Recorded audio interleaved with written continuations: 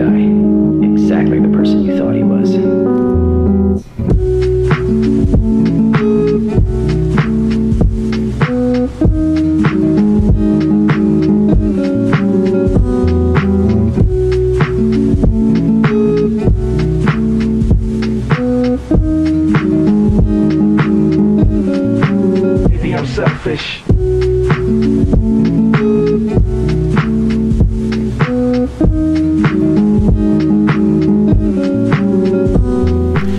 ¿Qué tal amigos? Sean bienvenidos a un nuevo viaje de Carlos. El día de hoy vamos a conocer la hacienda El Bermejo.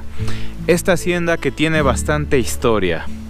Así que acompáñenme en este nuevo viaje y los invito a suscribirse a mi canal. Soy Alfonso López Sánchez, servidor.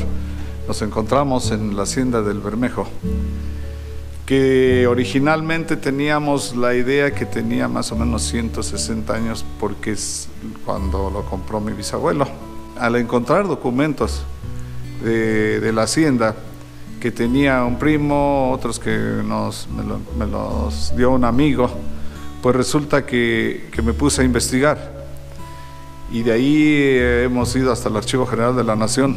Si hablamos de la historia de la hacienda, podemos hablar que se remonta a cientos de años, o a lo mejor hasta miles de años, ahí sí todavía no hemos podido precisar, porque el volcán que está en la hacienda del astillero, en la erupción, erupción que tuvo, que es de lo que no sabemos, eh, no tenemos el tiempo eh, preciso, se vino la lava hacia las partes más bajas, obvio, que es normalmente así, se va a las partes más bajas la, la- la lava y la espuma de esa lava es el tesontle y que curiosamente pues parece ser que aquí fue donde se vino toda la espuma porque dentro de un, un rango de un diámetro de mm, 50, 60 kilómetros, el único lugar donde hay tesontle es aquí en, en el Bermejo.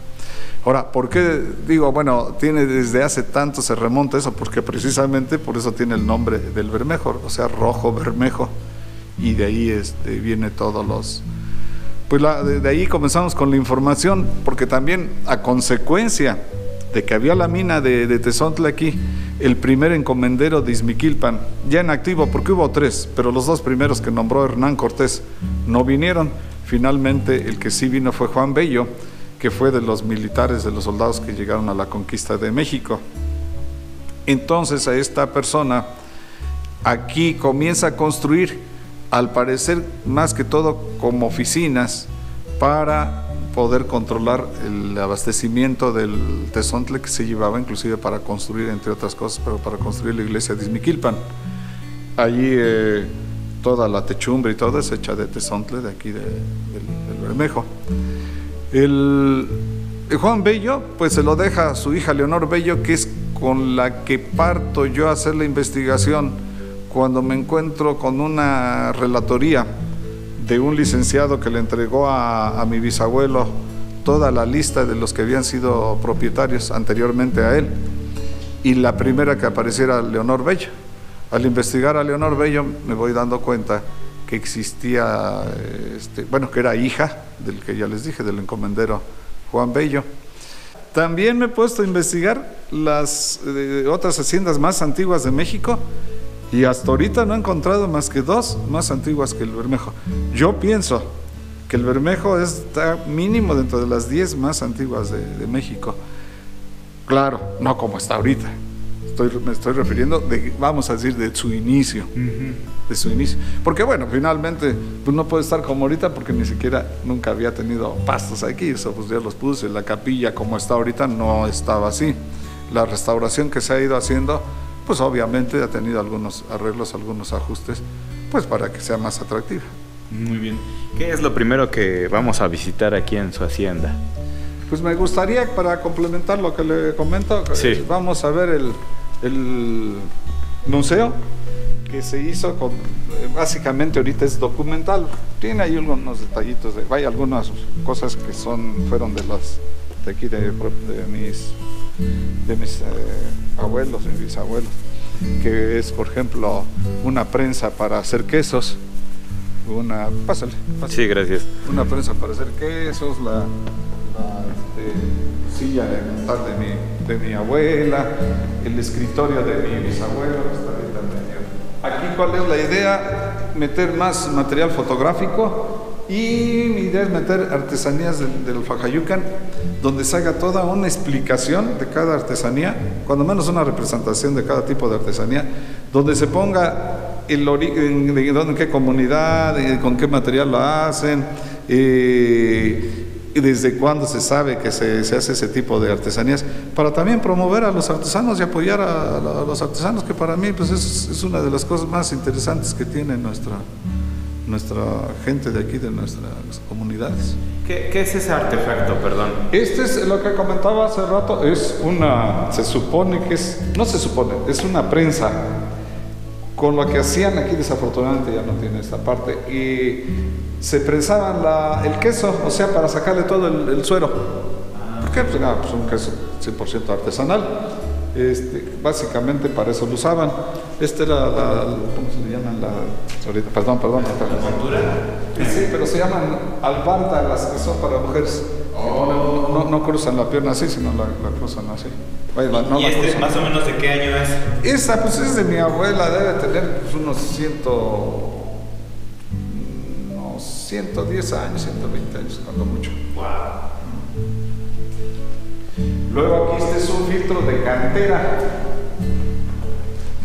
Este es un filtro de cantera para agua. Entonces se, se le echa ahí el agua y va goteando, pero ya, ya, ya sale filtrado. El único um, dato que no tiene un documento que compruebe la estancia, pero nos los platicó mi mamá, lo platicó mis tíos, los que fueron herederos en su momento, se quedó este presidente, Eulalio Gutiérrez, se quedó una noche aquí después de la convención de Aguascalientes, donde lo nombraron presidente interino eh, de México. Estuvo él, se supone que pasó aquí una noche en el, en el Bermejo. Aquí se supone, y sí está bien el, el saque, no está hecho así a, a puro barretazo, sino está bien hecho. Se supone que hubo un tesoro. ¿Aquí adentro? Ajá. Y por eso lo hemos dejado ahorita así, pero la verdad no, no, sabemos. Se habla hasta de armas, ¿eh? De que hubo algún grupo de soldados que derrotados de alguna batalla, que puede ser desde la revolución o desde, la, desde el 5 de mayo, porque hay dos situaciones. Pues ya el 5 de mayo se supone que existía esto. Y, y, este, y la otra que sí hay gentes, hay, hay güeros allá por Mado Corrales. Entonces eh, hay esa teoría. Bueno, repito, este es mi bisabuelo y este es mi abuelo al que le heredó el Bermejo, porque mi bisabuelo finalmente se hace de tres haciendas y un rancho, algo así. Una de ellas es La Manga, que ahora se llama Real 1800, y la otra Tashto, que está junto a La Manga, bueno, ahora Real 1800, repito. Y el Bermejo, entonces a mi abuelo, al papá de mi mamá, le deja esta. De las gentes que nos han venido a visitar, pues obviamente hay gentes que conocen pues de, muchas cosas de este tipo de construcciones y todo eso. Y ya algunos me habían explicado que eso significaba Padre, Hijo y Espíritu Santo, esos tres triángulos, ¿eh? que, que curiosamente de las treinta y tantas bóvedas originales que hay en el Bermejo, esta y la que sigue son las únicas que tienen esos tres triángulos. Aquí está, si se alcanza de todas maneras a ver, 12 de marzo de 1553. Dentro de esto se relata que Juan Bello comienza a construir al pie del Cerro Bermejo, que tiene un arroyo seco, efectivamente tiene un arroyo seco, eh, y que eh, este, de la parte de atrás del cerro. Atrás del cerro, por lógica, es el sur, porque siempre nosotros consideramos que el norte es el frente, el sur es la parte de atrás. Estamos en la parte sur de, de, del Cerro Colorado. Y además no hay ninguna construcción de esa antigüedad que no sea esta. Ahora aquí está el Cerro Colorado, de lo que tanto estamos hablando, donde está la, la, que es la espuma de la lava que supuestamente vino a dar hasta acá. No supuestamente, que vino a dar, los, los hechos están. Y se lava, ahora sí que roja, que es lo que le da nombre al rojo bermejo, al bermejo, y este y negro lo también este, tiene también lava, lava negra o, o de de Negro.